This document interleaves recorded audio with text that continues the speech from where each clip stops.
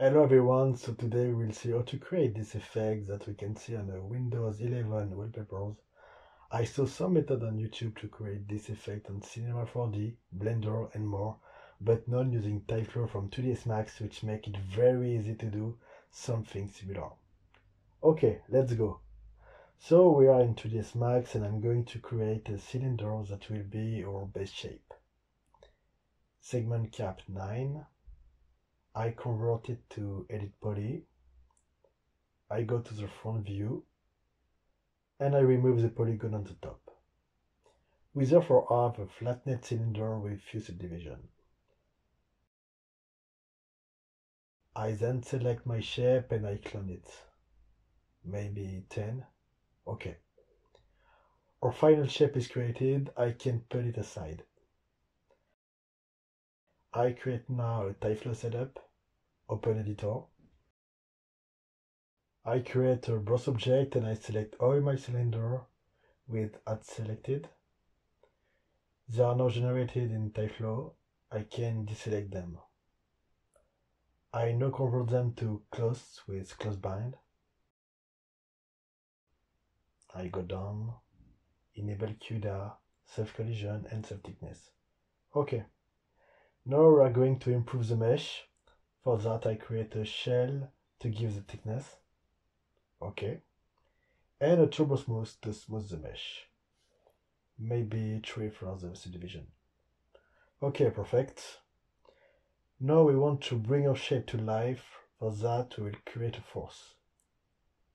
Select turbulence, scale 0.05, strength 5. Let's see what's happened. Okay, so we have our forms that live. This effect is very nice, but uh, it's not the effect we want. We want the shape to stay more stuck to each other. For that, we'll create an object bind, select all our cylinder and add selected. Now if I move forward in the animation, we see that our shape is totally fixed. To solve that, we go down and select linear spring. A high value will freeze your shape completely and the low value will leave them free. If I put a value of uh, 1 maybe, we can see that objects are all in motion while being attracted to each other. What we can do now is go into Tyflow and decrease the time step to have a better collision. And go to the retimer to slow down our animation, maybe 50. Okay, now we have a much better animation, but all the change affect the strength of the simulation. We can therefore return to strength and increase the value. And play with the force in the object bind until we have the effect we want. Once we have something interesting, we'll do like in my previous tutorial by creating a VRay camera and placing light to reveal a simulation.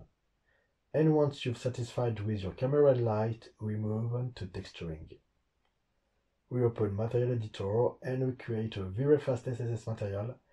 We will give us a material with a little transparency. We can now choose a preset already established as the skin and apply it to Tyflow. Okay, and as you can see, we are starting to have something quite interesting. You can choose now the best camera angle and placement of your light and once you like it, just rendering. One last thing before finishing this tutorial, I will show you how to assign different color to a cylinder.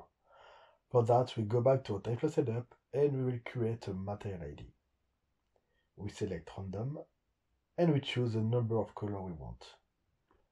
I will use three color for this example, but you can create a color for each cylinder. We go back to the material editor and I create a multi-subobject material